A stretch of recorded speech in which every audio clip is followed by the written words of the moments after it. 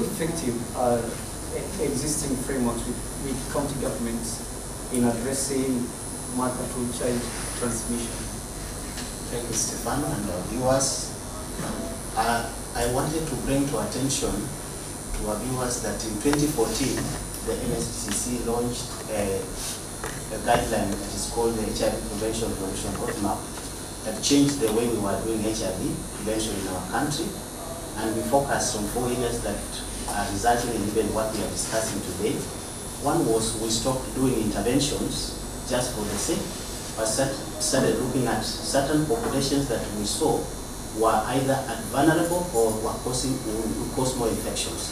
So we started looking at populations that addressing their needs uh, so that we, we we address the issues of new infections. Number two, we stopped looking at HIV prevention as a biomedical issue and then we started looking around for other social determinants, social structural issues and behavioral under what we call the combination prevention.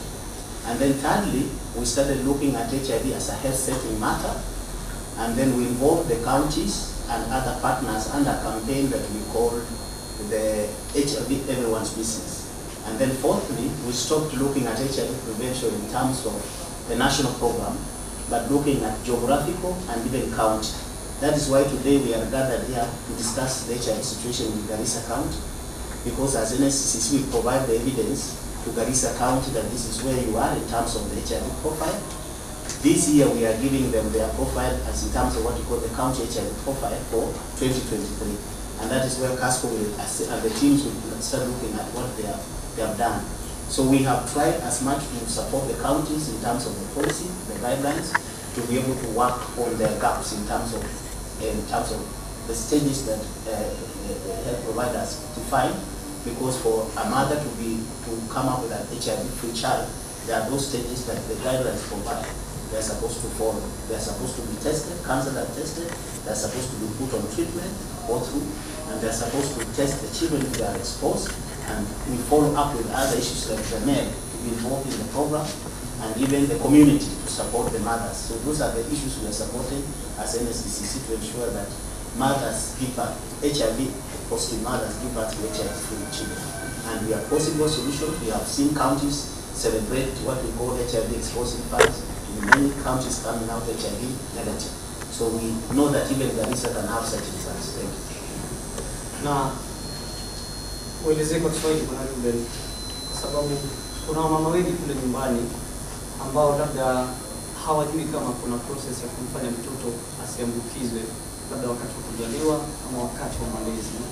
Ningetaka ume- hizo process ambazo umesema zinafuatiliwa, labda kuna unaambiwa usinyonyeshe mtoto kwa, kwa eh, miezi kadhaa, labda kama unafahamu vizuri, uweke taswira kamili, ndio mama ajue kwamba hata akiwa na virusi aende hospitali ataweza kujifungua mtoto ambaye hana virusi. Eh, Ile nimesema huwa tunatoa mwongozo na mwongozo ndio unasema vile eh, mama kama amepimwa na amepatikana kuna virusi vile anashughulikiwa na daktari katika hospitali, na ndipo tunahimiza kwamba ahudhurie kliniki zote, aweze kujifungua mtoto mkononi mwa daktari ama muuguzi.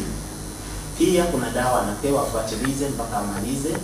Akijifungua mtoto, mtoto atapimwa kama ana virusi na anafuatilizwa kwa miezi kumi na nane ili atatangazwa mtoto ako huru na hana virusi. Ya pili, tunahusisha mambo ya family planning kwa wale wanahitaji mambo ya family planning na wanaathirika na virusi vya ukimwi.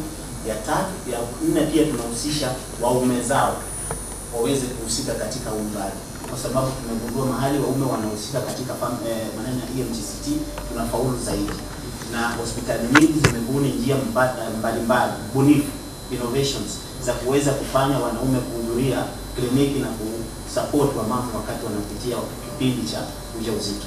Kwa hivyo tumefuatiliza hiyo na tunafanya kazi na madaktari wa kaunti na tunajua kwamba zile takwimu tumeona zikishuka kutoka Garissa, tumeona umeteremka kutoka 33 hadi 18 zinaweza kushuka zaidi hata wanapoendelea kufanya kazi na asante. Na asante. Lakini swali la mwisho nataka useme ndio au la. Wanaume katika kaunti ya Garissa wanajihusisha moja kwa moja na kina mama kuhakikisha kwamba mtoto Hilo tutajua kwao na kwa huko. Asante.